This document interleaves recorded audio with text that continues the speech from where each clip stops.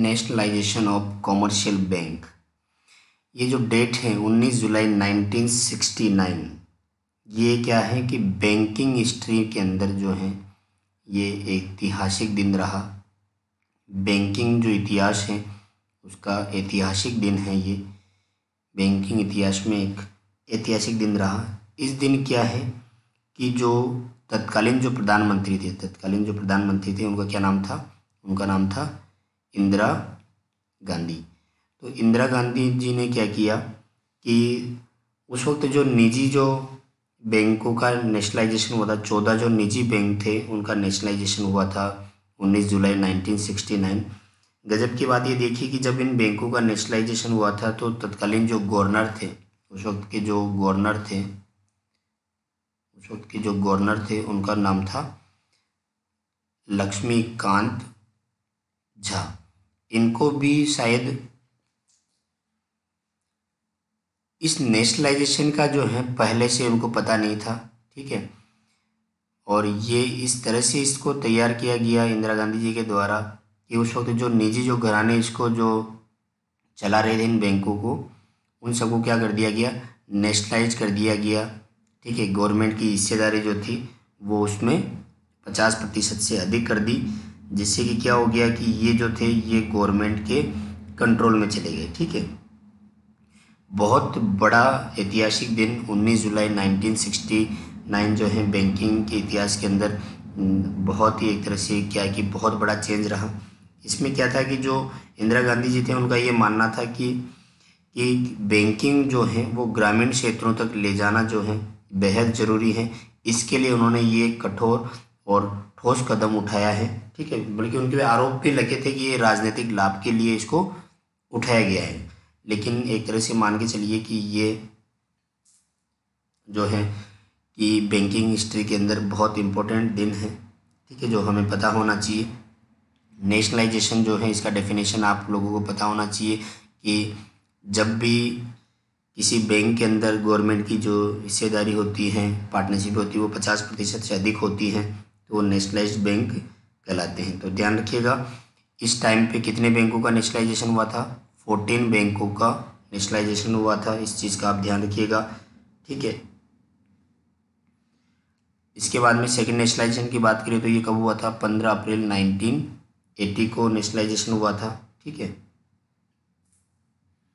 तो जो first nationalisation हुआ था, इसके अंदर जो चौदह बैंक थे, इसके अंदर आपके Central Bank of India, Central Bank of India इसके अलावा बैंक ऑफ़ इंडिया जो था, वो था Punjab National Bank, Punjab National Bank Bank of Baroda Bank of Baroda United Commercial Bank Canara Bank United Bank of India Allahabad Bank Indian Overseas Bank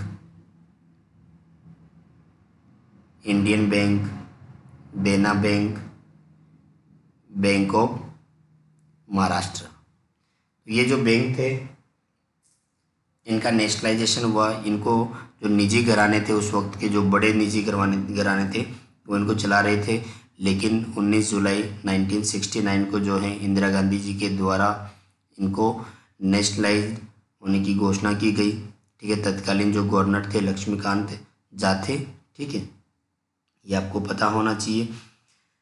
इसके अलावा अगर बात करें, जो सेकेंड नेशनलाइजेशन हुआ था, ये पंद्रह अप्रैल नाइनटीन एट्टी को हुआ था। इसके अंदर कितने बैंकों का नेशनलाइजेशन हुआ था? सिक्स बैंकों का नेशनलाइजेशन हुआ था, जिसके अंदर विजया बैंक, कौन सा बैंक था?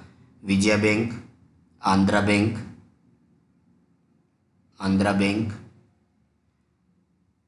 Oriental Commercial Bank Punjab and Sind Bank. इसके अलावा कोऑपरेशन बैंक था। इसके अलावा अगर बात करें तो new Bank of India, new Bank of India जो था, इन छह बैंकों को क्या किया गया?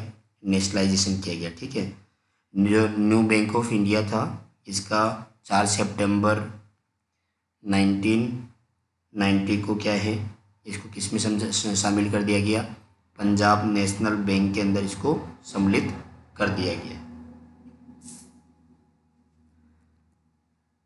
अगर बात करें वर्तमान में जो है, वर्तमान में अगर बात करें, यानी कि 2019 और अगर 20 की अगर बात करें तो भारत में अभी प्रेजेंट टाइम पर जितना जो नेशनलाइज्ड बैंक हैं, जो राष्ट्रीयकृत बैंक हैं, राष्ट्रीयकृत बैंकों की जो संख्या है वो कितनी है? बारह संख्या है, ठीक है? कितने बैंक हैं? बारह राष्ट्रीयकृत बैंक हैं, ठीक है?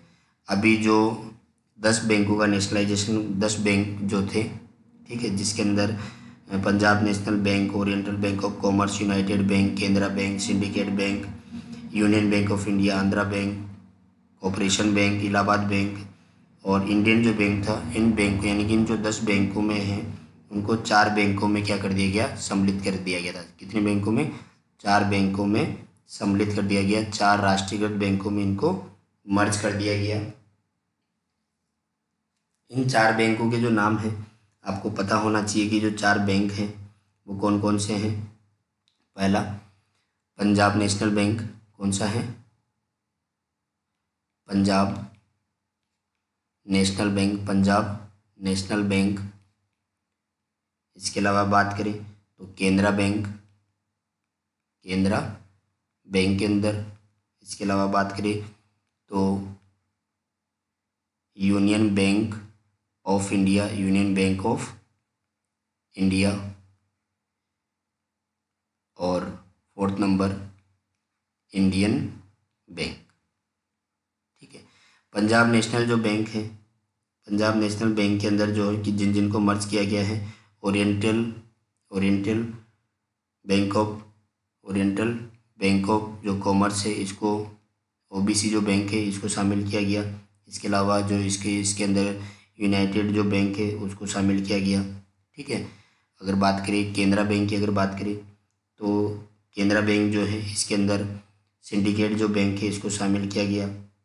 ठीक है? सिंडिकेट बैंक जो है, उसको शामिल किया गया। अगर बात करें यूनियन बैंक ऑफ़ इंडिया की, यूनियन बैंक ऑफ़ इंडिया की अगर बात करें तो यूनियन बैंक ऑफ़ इंडिया के अंदर जो आंध्रा बैंक है, आंध्रा बैंक, इसको शामिल किया गया। इसके अलावा बात करें तो जो कॉरपोरेशन बैंक था, कॉरपोरेशन बैंक था, उसको शामिल किया गया, ठीक है? और जो इंडियन जो बैंक है, इंडियन बैंक के अंदर जो है इलाहाबाद जो बैंक था, उसको भी शामिल किया गया। तो प्रेजेंट टाइम पे भारत में कितने राष्ट्रीयकृत बैंक हैं? बारह राष्ट्रीयकृत बैंक हैं। Punjab National Bank Canara Bank Union Bank of India Indian Bank इसके अलावा अगर बात करें तो Bank of Bank of Baroda Bank of India Bank of India Central Bank of India Central Bank of India इसके अलावा बात करें तो Indian Overseas Bank Overseas Bank Indian Overseas Bank Punjab and Sindh Bank, ठीक है? UCO Bank and UCO Bank एक and Bank of Maharashtra और state Bank of India.